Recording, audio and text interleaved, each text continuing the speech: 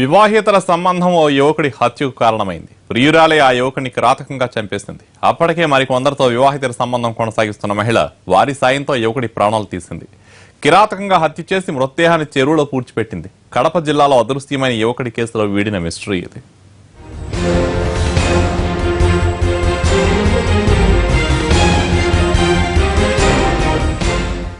పది రోజుల క్రితం అదృశ్యమైన యువకుడు శవమై కనిపించాడు. అతనితో వివాహేతర సంబంధం నడిపిన ప్రియురాలే అతని చావుకు కారణం.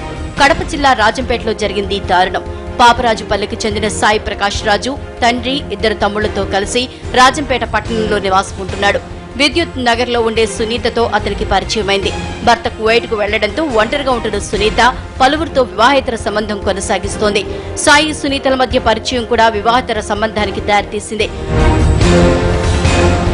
కొంతకాలం వీరి సంబంధం సవ్యంగానే సాగింది. కానీ సాయి తరచూ సునీతను డబ్బుల కోసం వేధించేవాడు. నేతు వీరిద్దరి మధ్య విభేదాలొచ్చాయి. మే ఇరవై ఒకటిన సునీత ఈ ఇంటికి వెళ్ళిన సాయి గొడవ పెట్టుకున్నాడు. దీంతో అతడి అడ్డు తొలగించుకోవాలని సునీత స్కెచ్ చేసింది. ఆమె మరో ప్రియుడు నాగేంద్ర మరో ముగ్గురు వ్యక్తులతో కలిసి సాయిని చంపేసింది. మృతదేహాన్ని పూడ్చిపెట్టింది. ఇరవై ఒకటి నుంచి సాయి కనిపించకపోవడంతో అతని తండ్రి పోలీసులకు ఫిర్యాదు చేశాడు. రంగంలోకి దిగిన పోలీసులు సాయి సన్నిహితులను విచారించారు. ఫోన్ కాల్స్ విశ్లేషించారు. దీంతో సునీత దగ్గరకు తరచూ వెళ్ళేవాడని తేలింది. సునీతను అదుపులోకి తీసుకుని విచారించడంతో వ్యవహారమంతా బయటపడింది. వివాహేతర సంబంధం బెడుసుకొట్టడమే సాయి హత్యకు కారణమని తేలింది. నిందితులు సునీత ఆమె మరో ప్రియుడు నాగేంద్రలను అదుపులోకి తీసుకున్నారు పోలీసులు.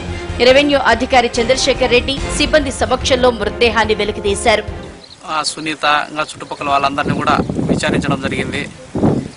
అయితే మన హస్తవరంకు చెందిన విఆర్ఓ గారు నిన్న సాయంత్రము ఒక అతనిని పిలుచుకొని వచ్చి ఇతనే సైకో సాయిని ఇతర ముద్దాయిలతో కలిసి నలుగురు కలిసి చంపివేసి నాగేంద్ర రాజు అనే అతను కూడా వాళ్ళకు సహకరించి శ- శవాన్ని పూడ్చిపెట్టడంలో సహకరించినాడని ఆ ఎక్స్ట్రా జుడిషియల్ కన్ఫ్యూషన్ ద్వారా మా ఎదుట హాజరు పెట్టినాడు సాయిని హత్య కేసులో పరారులో ఉన్న మరో ముగ్గురు కోసం పోలీసులు గాలిస్తున్నారు. తప్పుడు సంబంధంలో అడుగుపెట్టిన సాయి చివరకు ఆ సంబంధం కారణంగానే ప్రాణాలు కోల్పోవాల్సి వచ్చింది. తెలిసి తెలియని వ్యామోహంలో పడి జీవితాన్ని నాశనం చేసుకున్నాడు.